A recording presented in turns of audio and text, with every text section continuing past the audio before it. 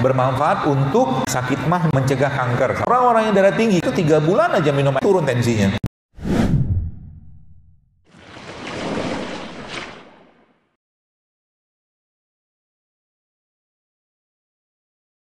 Dan Allah Subhanahu wa taala baru menciptakan banyak sekali di atas muka buminya ini ya, tumbuhan-tumbuhan yang begitu menyehatkan.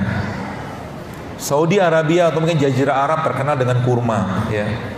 Kurma merupakan tanaman ataupun makanan yang paling baik untuk memperbaiki pencernaan.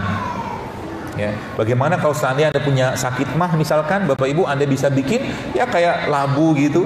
Ya labu Anda lambu Anda hancurkan ya, kemudian Anda kasih garam garam mineral sedikit ya, bukan garam dapur tapi ya. Kemudian ada kasih taburan kurma di situ, itu sehatnya banget, sangat sehat untuk orang-orang penyakit lambung. Kunyah seperti bubur. Jadi kayak pergedel tapi nggak pakai nggak digoreng. Ya, atau mungkin kita kurma. Itu salah satu kurma. Dan Nabi SAW mengajarkan ya mengajarkan bagaimana beliau merendam impusan kurma. Ya atau rendam uh, kurma di, direndam dalam air. Kita kenal dengan impusan water atau impus water ya. Itu manfaatnya banyak nggak? Oh Nabi ngajarin pasti baik lah gitu kan. Tapi di sana kan adanya kurma. Apakah kita nggak boleh mengerjakannya itu dengan buah-buahan? Boleh aja. Sainsnya menjelaskan tentang begini begini begini begini. Kita pakai aja apa yang ada di Indonesia. Ya masalah di Saudi Arabia, misalkan atau di Jazirah Arab, di Mekah, Madinah, kelapa susah. Gak banyak tumbuh kelapa, tumbuhnya kurma. Tapi di negeri kita, kita banyak kelapa. Dan kelapa merupakan air yang sangat tinggi asam aminonya. Orang-orang yang darah tinggi, kata guru saya, dan penelitian beliau juga, itu tiga bulan aja minum air kelapa muda, itu turun tensinya. Segitu mudah gitu kan Allah apa namanya memberikan uh, apa ya bahan-bahan tadi untuk kita. Kenapa tidak diberitahu sama Allah? Karena memang belum mau Allah kasih tahu. Mungkin kitanya belum ingat sama dia. Ya. Bahkan yang luar biasa lagi buat sekalian. Uh, kalau kita bicara kurma madu dengan asam aminonya ya dengan mineralnya vitamin yang luar biasa tinggi ya kurma lah misalkan Indonesia tidak tumbuh kurma, ada sebagian yang tumbuh, tapi tidak secara baik atau seperti rasanya yang ada di sana. Karena memang dia tumbuhan khasnya daerah panas. Ya. Banyak isi kurma tadi banyak.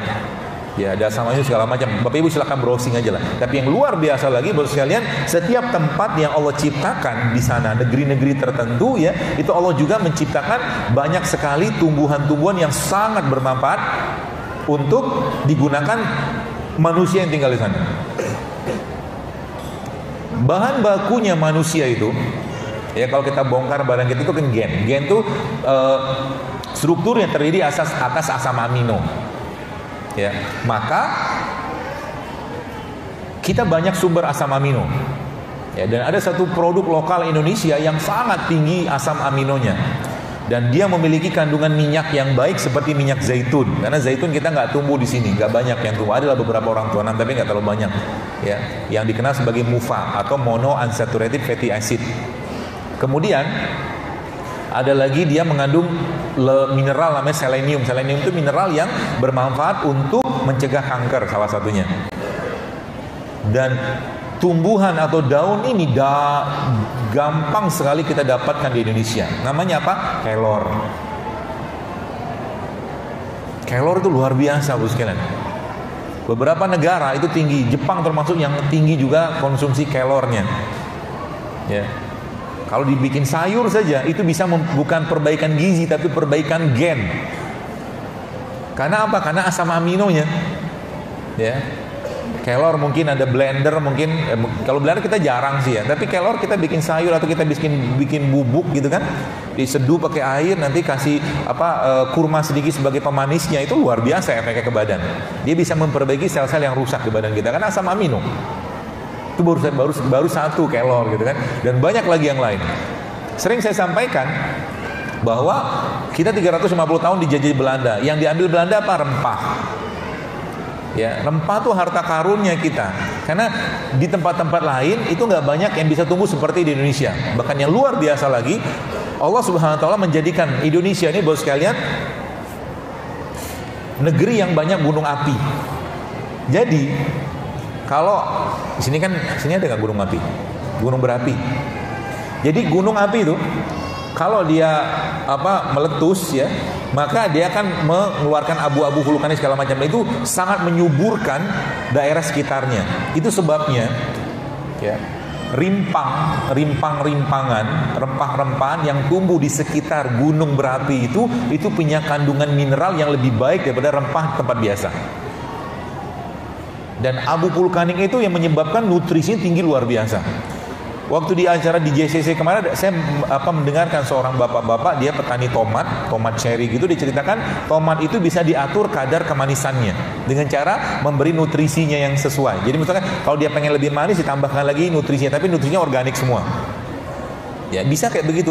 Makanya rasa rasa uh, apa tuh namanya produk tertentu yang ada pada satu tempat ya yang di mana Allah ciptakan di sana itu beda dengan kalau ditumbuhkan di tempatnya. Anda tidak akan dapatkan rasa ubi celembu itu kalau tanam di Balampung. Betul? Gak rasanya. Maka setiap tempat itu ada kekhasannya. Ada kekhasannya di sana. Itu tanda-tanda Allah di situ. Allah ingin tunjukkan. Contoh mungkin saya nggak tahu Lampung, tapi Jambi itu terkenal dengan nanas. Jambi salah satu uh, kota di Sumatera yang terkenal dengan kayu manisnya. Ya. Biasanya ada hubungan. Jadi sesuatu yang Allah ciptakan di sana itu memang bermanfaat untuk penduduk sekitar, termasuk juga dengan makanan. Jadi makanan penduduk lokal, makanan penduduk lokal atau makanan kayak kita sekarang, ya makanan kita, jangan ngimpor. Maksudnya gini, jadi kalau anda pengen sehat ya makan makanan kita. Orang Indonesia dulu makannya apa? Ya karedok, pecel, gado-gado. Kita nggak makan pizza kan? Dan sekian lama makan pizza juga nggak lancar juga bahasa Italinya. Gitu-gitu aja. Nggak ada hubungan sih. Jadi seperti itu, ya. Orang tua kita sudah mengajarkan banyak hal Bapak sekalian ya, banyak hal yang sebenarnya itu kearifan-kearifan lokal yang kita bisa optimalkan. Dan itulah tanda-tanda dan sekarang itu tanda kebesaran Allah Subhanahu wa taala kepada kita semua, ya. Bahkan uh, air kelapa itu kalau kita bicara kelapa itu subhanallah itu dahsyat luar biasa Bapak sekalian. Kalau Anda masukkan air kelapa itu racun, maka racun tadi yang cair gitu akan menggumpal di sana, digumpalkan sama air kelapa. Makanya air kelapa itu salah satu anti penawar racun atau penawar racun yang sangat baik. Jadi kalau kita cemplungin misalkan apa namanya racun tertentu ke situ dia lama-lama kan tergumpal di situ. Ya. Air kelapa kan banyak. Sayangnya kita minum air kelapa pakai sirup. Hah? Air kelapa yang minum ya pakai madu, pakai kurma kan bagus. Ya, jadi minum air kelapanya jangan pakai sirup. Ya. Pokoknya yang kemasan-kemasan mulailah dihindari. Yang kemasan-kemasan. Kalau Anda pengen makan jeruk, ya, makalah jangan minum jeruk dalam kemasan sekali-sekali silakan lah. Tapi bukan untuk tiap hari kita. Makan jeruk ya makan jeruk aja. Termasuk jeruk-jeruk lokal gitu kan. Kalau di sini ada jeruk lokal makan jeruk lokal. Ya. Coba anda lihat jeruk ini. Ini jeruk kan nanamnya gimana coba?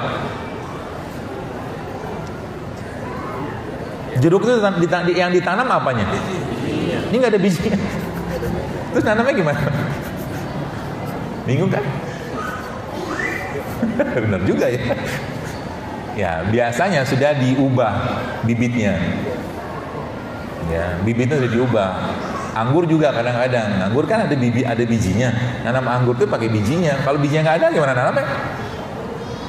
Gitu. ya. Maka lagi saya sampaikan, ya kembali aja ke buah-buah lokal. Ya, kalau kita nggak apa-apa makan beginian silakan. Tapi yang normal-normal aja lah. Ya, saran saya begitu. Ya, sebab apa? Sebab banyak orang yang bikin makanan, bikin minuman atau mungkin bikin pertanian kayak begini. Apakah mereka bertanggung jawab kalau kita sakit? Enggak. Petani-petani maaf yang nyemprotin pestisida ke ke padinya, apakah mereka bertanggung jawab kalau yang makan itu kena kanker? They don't care, mereka nggak peduli. Yang penting padinya tidak rusak. Sama juga dengan industri makanan. Banyak industri makanan yang bikin makanan-makanan gak sehat banyak. Kita sebut aja, dosa sebut banyak. Ya, apakah mereka peduli kalau kita sakit? Enggak. Jadi yang kita juga tidak bisa mengendalikan mereka. Yang kita bisa kendalikan apa? Mulutnya kita. Artinya pikir, mulai sekarang mikir. Kalau makan, kalau saya makan begini, kira-kira sakit nggak badan saya? Kalau saya makan begini, kira-kira bisa bermasalah nggak badan saya? Ya. Kalau sudah tahu bermasalah, jangan dimakan. Jangan dimakan. Dan banyak makanan-makanan nggak sehat.